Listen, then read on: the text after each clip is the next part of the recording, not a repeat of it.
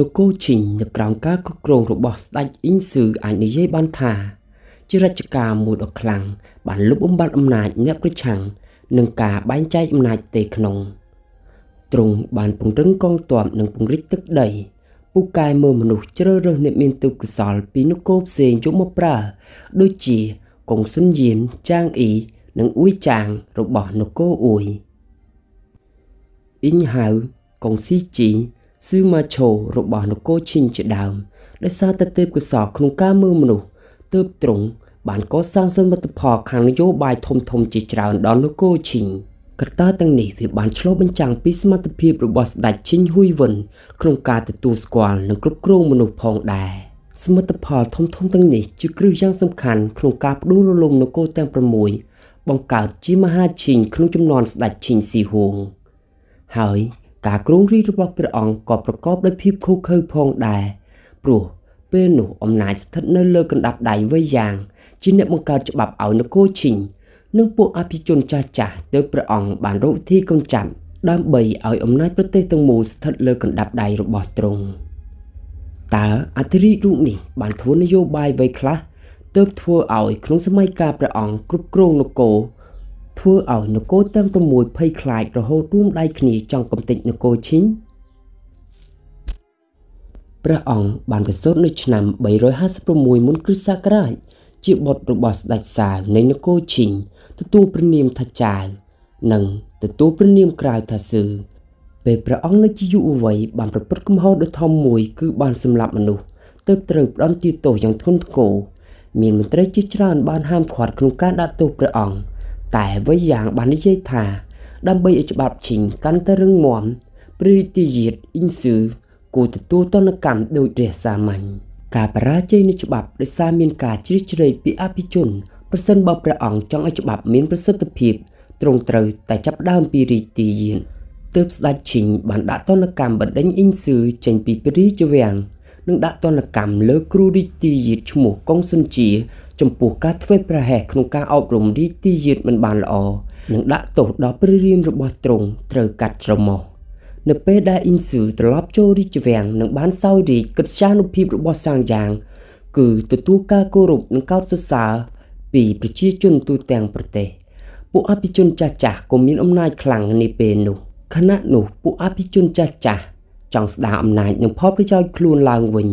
ទើបប្រឌិតពាក្យចចាមរាមថាសាងយ៉ាងកំពុងរៀបផែនការបះបោរស្ដេចហ៊ុយវិនបានឆ្លៀតឱកាសនេះចោទប្រកាន់សាងយ៉ាងពីទោសក្បត់ជាតិត្រូវបានកាត់ទោសប្រហារជីវិតដោយសេះ5បំបែកសាកសពនិងសម្លាប់ដាច់ពូជគ្រួសារវ័យយ៉ាងទាំងអស់ទោះបីជាព្រះអង្គបានសម្លាប់សាងយ៉ាងទៅហើយតែអំណាចក៏មិនទាន់ពេញលេញនៅឡើយទេ ព្រះអង្គក៏បានរៀបចំផែនការដើម្បីកម្ចាត់ពួកអភិជនផ្សេងផ្សេងនៃនគរឈិងជាបន្តបន្ទាប់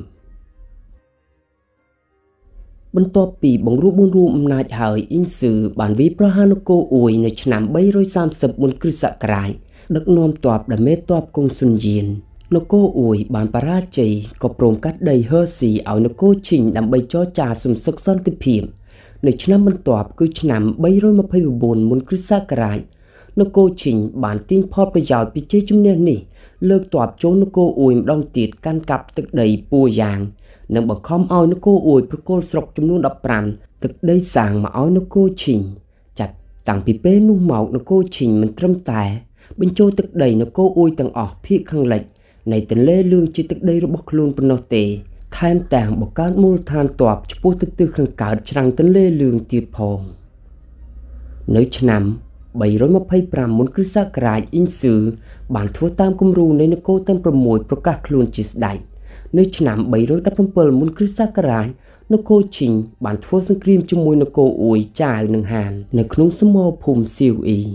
សម្រាប់តបនគរទាំង3 80000នាក់ធ្វើឲ្យសម្ព័ន្ធមិត្តទាំង3ដកតបថយមួយឆ្នាំក្រោយមកកុលសម្ព័ន្ធអ៊ីឈីបានលើកតបមកវិភាគខាងលិចនគរឈីតែត្រូវបង្ក្រាបទៅវិញ នៅមុនគ្រិស្តសករាជ312ស្ដេចឈិងអ៊ីងស៊ឺបានបញ្ជូនចាងអ៊ីទៅបញ្ចុះបញ្ចូលឈូឲ្យផ្ដាច់សម្ព័ន្ធជាមួយនគរឈីនិងលើកតបវិនគរឈីដែលសន្យាថាកាត់ទឹកដីឈិងឲ្យនគរឈូតែចុងក្រោយនគរឈិងបានក្បត់សន្យា ស្ដេចឈូខឹងជាខ្លាំងក៏បានលើកតបមកច្បាំងជាមួយនគរឈីងនៅតាន់យ៉ាងច្បាំងនេះធ្វើឲ្យនគរឈូបាត់បង់ទឹកដីហានចុងចាប់តាំងពីពេលនោះមកនគរឈូក៏បាត់បង់អំណាចធំ តែនគរឈីងអំណាចកាន់តែធំឡើងធំឡើងគំរាមកំហែងនគរទាំង6កាន់តែខ្លាំងឡើងនគរឈីងមិនត្រឹមតែទទួលបានជ័យជំនះលើយោធា និងពង្រីកទឹកដីប៉ុណ្ណោះទេ ថែមទាំងប្រាយុទ្ធសាស្ត្ររបស់ចាងអ៊ីក្នុងការបំបីបំបាក់សម្ព័ន្ធភាពនគរទាំង6កងស៊ុនយៀនដែលធ្លាប់បម្រើឈិងបានផ្ដល់យុទ្ធសាស្ត្រឲ្យនគរទាំង6រួមដៃគ្នាដើម្បីបង្ក្រាបអំណាចឈិងប៉ុន្តែត្រូវបរាជ័យ ជ័យជំនះលើនគរទាំង6ទាំងផ្នែកយោធានយោបាយការទូតវាបានហត់ផលឲ្យនគរឈិងក្នុងការកម្ចាត់នគរទាំង6កុនសម្ព័ន្ធអ៊ីឈីនៃពួកស៊ីងនូតែងតែបង្កបញ្ហាដល់នគរឈីងឆក់ប្លន់តាមព្រំដែនទៅកុងស៊ុនយៀនបញ្ចុះចូលឲ្យស្ដេចឈីងផ្អាកសង្គ្រាមជាមួយនគរអ៊ុយដើម្បីបង្ក្រាបកុលសម្ព័ន្ធមួយនេះ ស្ដេចឈីងអ៊ីងស៊ឺមិនបានទៅបង្ក្រាបសង្គ្រាមអ្វីនោះទេ ដោយព្រះអង្គដឹងថាពួកនេះរស់ដោយសារចិញ្ចឹមសេះគោក្របីនិងជៀមទៅបញ្ជាឲ្យទាហានដុតស្មៅតាមព្រំដែនចោលទាំងអស់បំបត្តិគ្រូសៀងនូយ៉ាងងាយស្រួលទៅព្រះអង្គបានបញ្ជូនអ្នកនាងរបស់ទ្រង់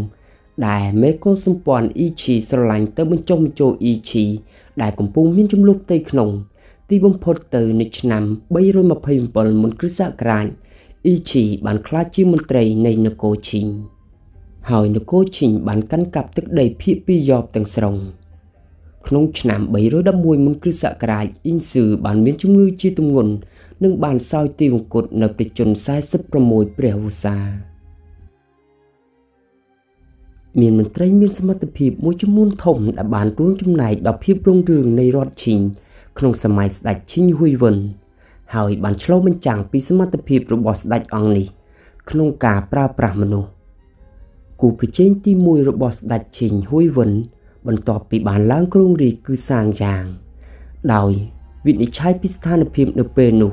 គាត់បានកសាងនីតិរដ្ឋរបស់នគរឈិងទទួលបានភាពជោគជ័យជាមូលដ្ឋានប៉ុន្តែអតិភិបរបស់សាងយ៉ាងដែលគ្រប់គ្រងអំណាចតែម្នាក់ឯងបានខ្លាចជាការគំរាមកំហែងដ៏ធំបំផុតក្នុងសមិទ្ធផលកំណែតម្រង់របស់នគរឈិង ការកសាងនីតិរដ្ឋរបស់នគរឈិងត្រូវបានសម្រេចដោយកម្លាំងរបស់សាងយ៉ាងទើបអំណាចពេលទ្រង់ឡើងសោយរាជត្រូវប្រជែងជាមួយសាងយ៉ាងដោយសារតែពួកគេមានអំណាចដ៏ធំ ហើយច្បាប់នៅក្រៅមេឃគឺត្រូវមានតែម្នាក់ប៉ុណ្ណោះសម្រាប់បិតារបស់ទ្រង់ឈីងសៀវកុងមិនបានណែនាំឲ្យទ្រង់កម្ចាត់សៀងយ៉ាងទេប៉ុន្តែមនុស្សដូចសាងយ៉ាងមិនត្រូវបានប្រើប្រាស់ក្នុងរដ្ឋឈីងដូចនេះ ត្រូវកម្ចាត់ដើម្បីមិនឲ្យនគរផ្សេងប្រើ បន្ទាប់ពីព្រះអង្គកម្ចាត់សាងយ៉ាងបានយ៉ាងងាយស្រួលព្រះអង្គបានបន្តផែនការកម្ចាត់កុងស៊ឺឈៀននិងកុងស៊ុនជីចាងអ៊ីគឺជាមនុស្សដ៏សំខាន់ក្នុងការកសាងនគរឈីងឲ្យមានភាពរឹងមាំគាត់ពូកែខាងការទូតយ៉ាងស្មុគស្មាញរវាងនគរឈីងនិងប្រទេសដទៃទៀតស្ថានភាពត្រូវបានផ្លាស់ប្ដូរជាច្រើនដងហើយកងទ័ពប្រទេសទាំង6បានវាយប្រហារឈីង ប៉ុន្តែទៅបរាជ័យបន្ទាប់ពីស្ដេចឈីងសៀវកុងប្រើសៀងយ៉ាងគាត់បានទៅសេភាពរុងរឿងក្នុងប្រវត្តិសាស្ត្ររបស់នគរឈីងចំណែកឯស្ដេចឈីងហ៊ុយវិនបានប្រើចាងអ៊ីធ្វើឲ្យបន្សល់ទុកគេឈ្មោះរាប់ពាន់ឆ្នាំ